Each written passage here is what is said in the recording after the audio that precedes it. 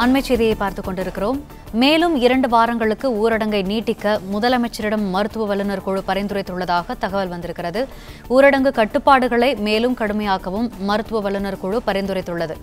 மேலும் இரண்டு வாரங்களுக்கு ஊரடங்கை நீட்டிக்க முதலமைச்சரிடம் மருத்துவ வல்லுநர் குழு பரிந்துரைத்துள்ளதாக தகவல்கள் தெரிவிக்கின்றன. இதுகுறித்த முழு விவரங்களையும் செய்தியாளர் பிரகாஷ் வழங்க கேட்கலாம். பிரகாஷ் இதுகுறித்த முழு விவரங்களை பதிவு செய்யலாம்.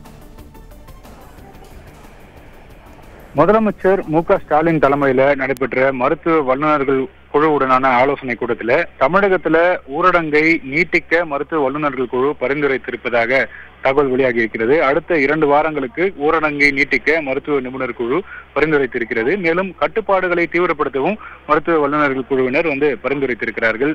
தமிழகத்துல அமலில் இருக்கக்கூடிய ஊரடங்கு வருகின்ற இருபத்தி நான்காம் தேதியோடு நிறைவு பெறுகிறது.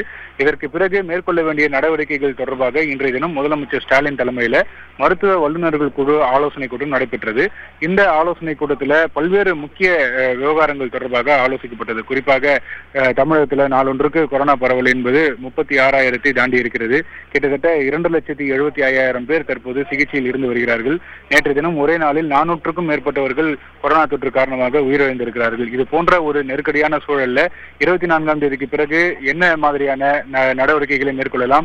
இந்த நாளொன்றுக்கு பாதிக்கப்படுபவர்களுடைய எண்ணிக்கையை குறைக்க என்ன மாதிரியான நடவடிக்கை மேற்கொள்ள வேண்டும் என்பது குறித்து மருத்துவ வல்லுநர்கள் குழுவினுடைய கருத்துக்களை முதலமைச்சர் மு க ஸ்டாலின் கேட்டறிந்தார் அதுல முக்கியமானதாக இதே போன்ற இந்த கட்டுப்பாடுகளோடு இந்த ஊரடங்கை நீட்டிக்க வேண்டும் என்று சில மருத்துவர்கள் வந்து அரசுக்கு வந்து கருத்துக்களை தெரிவித்திருக்கிறார்கள். அதே போல கட்டுப்பாடுகளை மேலும் தீவிரப்படுத்த வேண்டும் என்ற அந்த கருத்துக்களும் அரசிடம் வந்து தெரிவித்ததாக கூறப்படுகிறது.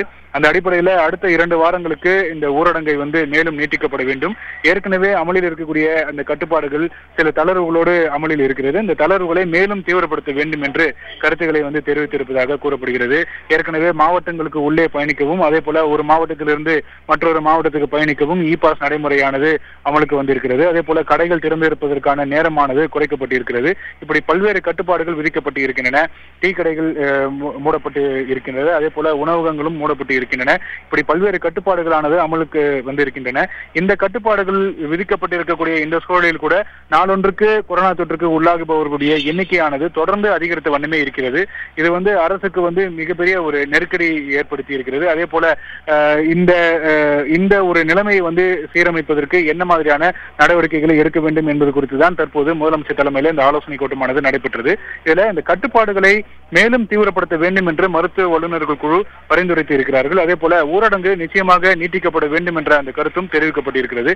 எனவே மருத்துவர்கள் தெரிவிக்கக்கூடிய அந்த கருத்துக்களை அரசு முழுமையாக கேட்டிருந்திருக்கிறது அதனை தொடர்ச்சியாக தற்போது ஏற்கனவே இந்த நோய் பரவலை கட்டுக்குள் கொண்டு வருவதற்கு அரசுக்கு ஆலோசனை வழங்குவதற்காக சட்டமன்றத்தில் அங்கம் வகிக்கக்கூடிய அரசியல் கட்சிகளுடைய சட்டமன்ற உறுப்பினர்கள் குழு கூட்டமானது தற்போது முதலமைச்சர் தலைமையில தற்போது இந்த கூட்டமானது துவங்கி நடைபெற்று வருகிறது.